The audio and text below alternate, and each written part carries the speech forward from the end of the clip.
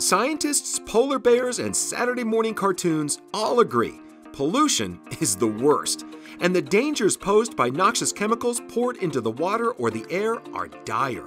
But what about light pollution? Can that be so bad? Is light pollution even really pollution at all? Pollution is usually described as the addition of any substance or form of energy into an environment at a rate faster than that environment can deal with it.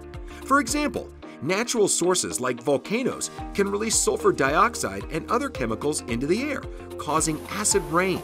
The natural amount of acid in rain rarely causes problems. Soil can often neutralize a certain amount of acid. But industrial processes, like generating power from fossil fuels, can pump more chemicals into the atmosphere than natural processes can handle. The result is more acid rain more stress on plants and animals. We call that pollution. And believe it or not, light pollution acts much the same way. Life evolved to cope with natural light from the stars and the moon. But too much light is hard for nature and humanity to handle. It sounds a little strange to complain that the nighttime is too bright, but if you look at the night sky as it's seen in a city, and then as it's seen far from human habitation, you can see just how much difference light pollution can make. And it's not just big cities that are affected. Studies suggest that 80% of America can no longer see the Milky Way when they look into the sky. Strangely enough, light pollution can actually make it hard to see.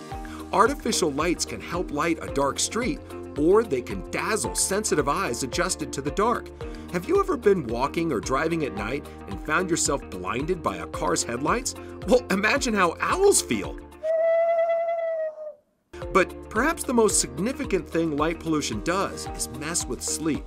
Circadian rhythms are the cycles of behavior and activity that organisms experience, usually over the course of a day night cycle. Periods of darkness are very important to getting the right amount of sleep. So, when artificial lights brighten the sky, it's like nearby animals are trying to go to sleep with their bedroom lights still on. It can affect the circadian rhythms of nocturnal animals too. Any disruption in the light dark cycle can cost animals sleep and affect their health.